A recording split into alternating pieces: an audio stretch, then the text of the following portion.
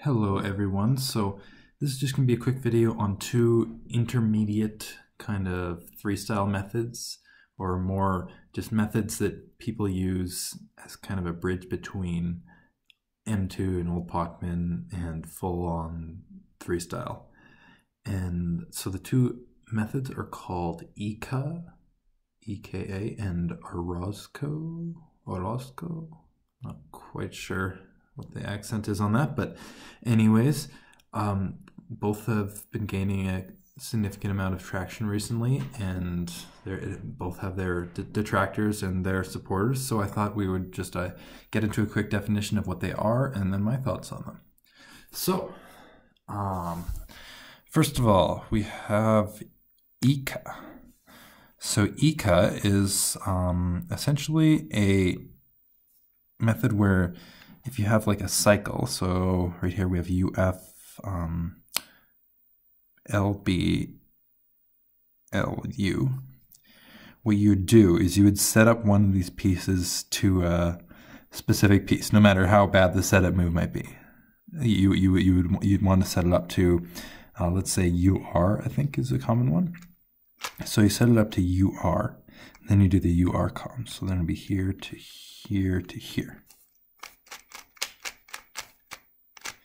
So uh, the idea here is that you only know the commutators for one set, I guess, maybe two if you do that.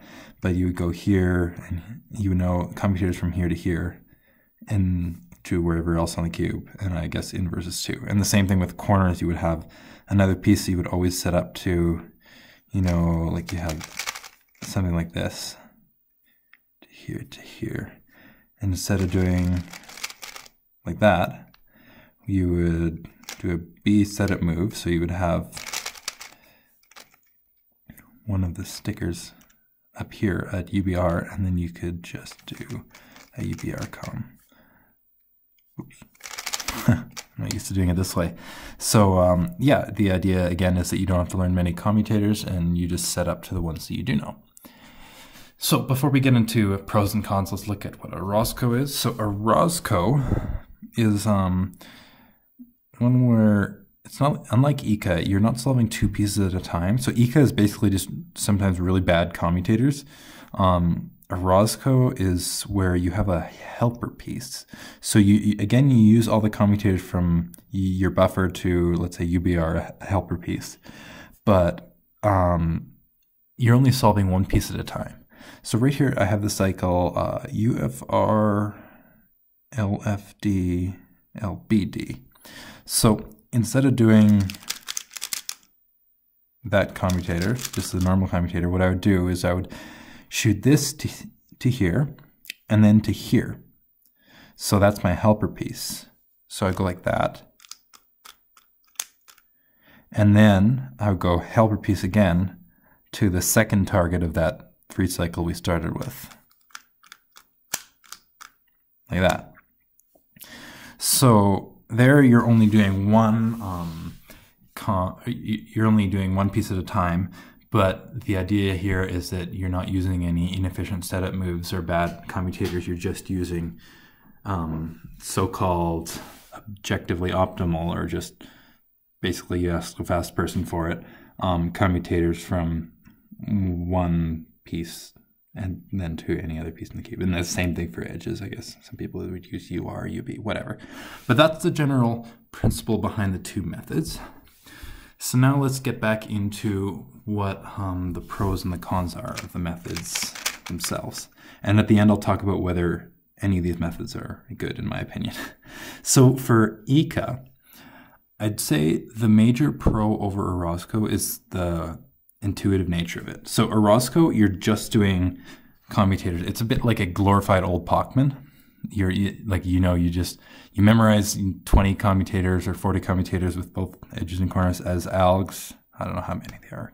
Don't quote me on math, but anyways, you memorize them as algs and then you're just doing them. You're just spamming. It's like M2 or old Pochmann.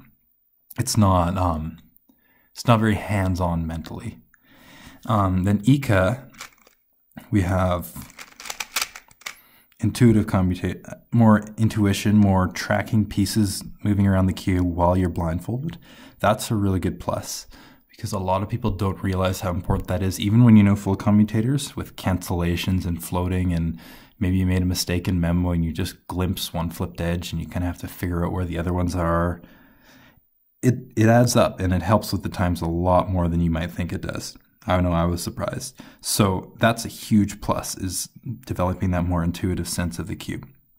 Obviously, the big uh, kind of detractor to Eka is the um, the bad comms that you'll eventually do. The one I'm talking about right now, this one is actually pretty good, but um, you might have one with like four setup moves. I don't know, something like that. Um, so th- that's a pretty big detractor. Is you might be able to, you might be a bit stuck in your ways if you do that for a long time before transitioning to full three-style, and you might be stuck with a lot of um, really inefficient comms. So yeah, that's that's the main two things with Eka is that on the one hand you are developing a really intuitive sense of the cube, which is really important, and you're probably going to understand commutators better. On the other hand, you're doing some very inefficient comms because you're restricting yourself to only using one piece. So those are the, yeah, those are the two things that uh, are big for Eka. And then for Orozco, um, so again, this one is just even with the inefficiency of Eka, it's going to be way faster than Orozco, I promise you. Just because Orozco, you're going to have, well, you're doing two algs for every one Eka. And let's say, even if the Eka is slightly slower than Orozco, my guess is that if you're doing the intermediate methods, your think ahead isn't like incredible. No offense to people who do use these methods. Just, it's just an assumption. So there's going to be pauses. So with um, Orozco, you're going to be pausing twice as much and doing twice as many algs compared to Eka. So yeah, that's the big thing. And then also, you're not really developing an intuitive sense of the cube. Again, like what I said, it was just a, it's a glorified old Pochmann, and so it, it's just you're treating it like algorithms. You're not treating com, comms like intuitive things that you can learn. You're not treating it like F2L. Basically, you're treating it like PLL. And I know if you can get around that and if you can get on to forcing yourself to essentially learn two sets, two different um, sets of ZBLL for edges and corners, because if that's how you you want to learn commutators is by, just by memorizing 400 of them, I mean, all the power to you, go ahead. But I just think that for a lot of people, especially myself, that's really discouraging. And I would be surprised and impressed if someone made it to world class level by following the same kind of thing that Orozco teaches with just memorizing commutators. So yeah, that's the big thing with Orozco for me. But the benefit again is that you are using objectively optimal um, comms, at least for the, the helper pieces. So you're not developing any extraordinarily bad habits like you might with Eka. I'm not saying you will with Eka, but you might if you use, you know, like I don't know. It's hard to figure. Useless B moves. Anyways, that's um that that's in general my my thoughts on these two methods. I've been I've been taking a few days to think them over, and uh, yeah. Now getting on to just the idea of these methods in general, I think there's a couple things that people kind of ignore when they try and think of intermediate methods. And so the first thing I would say is you have to consider what your goals are if your goal is to be averaging one minute, I mean, why even bother doing this? Why not just do M2? I mean, Lucas Etter just got like a 30 something, 34 maybe, official single with M2 and Old Pochmann. And while not everyone has his turns per second ability, it's not that hard to get down to low one minute with M2 Old Pochmann. So if your goal is to just, you know, maybe podium at a local competition or something like that, ask yourself how much effort you want to put into this. If your goal is to be world class, again, you need to ask yourself what kind of effort you're willing to put into this because in my opinion this is not really a good bridge. I don't think there's really a, a good way to bridge into world class top methods. I think the best way to do it is just bite the bullet and go for go for it. So you know learn commutator theory and then just do a lot and a lot of sighted solves. That's all I really did.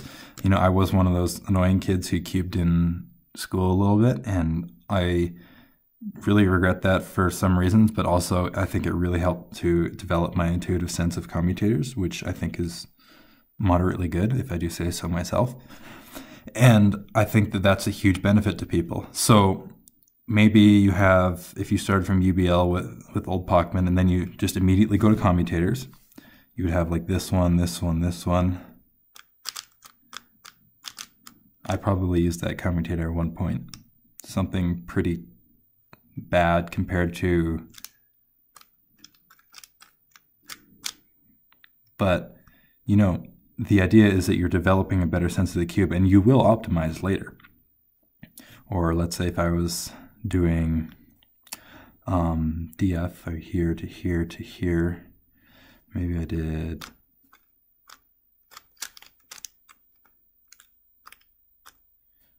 you know something that's not very good but I was still developing a better intuitive sense of the cube. And I think in the long run that helped me because no matter how much you say, oh, I'm going to start from the beginning and I'm going to learn everything perfectly so I never have to do it again, that's never going to happen. I'm just telling you right now, that's not going to happen. You might think you're smarter than everyone else. You might think that you have better precautions or not precaution, but you know, you have better planning and you know exactly what you're going to do. You're going to learn 10 things per day and you're going to practice this and this. That never happens like that just doesn't happen and i don't think it should happen i don't think you should waste your life like that i think it's more fun to figure them out on your own and then optimize later because you're still developing a lot of skills i mean even if let's say you average three minutes and then you switch to commutators you still got to get your memo way down you got to increase your turns per second your think ahead none of that really matters i mean in terms of what method you use so you got to try a lot of different things. Don't don't just stick to someone you message on Facebook. Don't just stick to their advice. Take some time, figure some out on your own, make it fun for yourself, because I mean, in the long run, unless you do end up being, you know, like, well, you know, sub 20 or something like that, like at the level where you can be competitive for world records and championships and that sort of thing, it's not going to have any huge benefit for you to waste your life memorizing a bunch of algs that you never end up using. Because i mean that's the thing is when you're doing intuitive comms you're constantly trying new things and you're constantly experimenting and that's what keeps the magic going for a lot of people so yeah that's kind of a long-winded ramble about that but that's that's just my idea is that you know there's a lot of good skills you develop from taking this journey on your own. And I think that if I did the journey again, if I had to start from beginner, being a beginner again, I would 100% do the same things that I did. I would 100% do um,